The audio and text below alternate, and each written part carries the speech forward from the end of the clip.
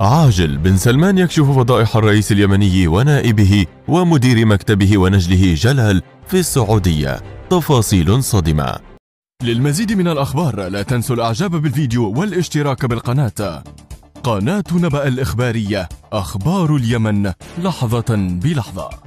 كشف خالد سلمان مساء اليوم عن فضيحة مدوية تطارد الرئيس هادي ونجله جلال عبد ربه ونائب رئيس الجمهورية علي محسن الأحمر ومدير مكتب الرئيس عبد الله العليمي المقيمين في المملكة العربية السعودية. ويعد علي محسن الأحمر الجناح العسكري لتنظيم الإخوان حزب الإصلاح وعبد الله العليمي مدير مكتب هادي المكلفة بمراقبة هادي واستصدار القرارات السياسية والعسكرية التي تخدم مصالح الإخوان. وقال السياسي اليمني خالد سليمان في تدوينة نشرها على حسابه الشخصي بموقع فيسبوك. رصدها الموقع أن 490 مليون دولار عائدات نفط خلال أشهر فقط. تم تهريبها إلى بنك خارجي من ميناء النشيمة في مديرية رضوم الواقعة في محافظة شبوة الخاضعة لسيطرة الإخوان. وأكد خالد سلمان أن هذه المبالغ يتقاسمها محسن والعليمي وهادي وجلال وأشار مختتما تدوينته إلى أن شبوة المحافظة الأغنى المحافظة الأفقر. ويعاني سكان مديريات محافظة شبوة من ارتفاع كبير في أسعار النفط حيث بلغ سعر الجالون الواحد من البترول 28500 ريال يمني وسط ارتفاع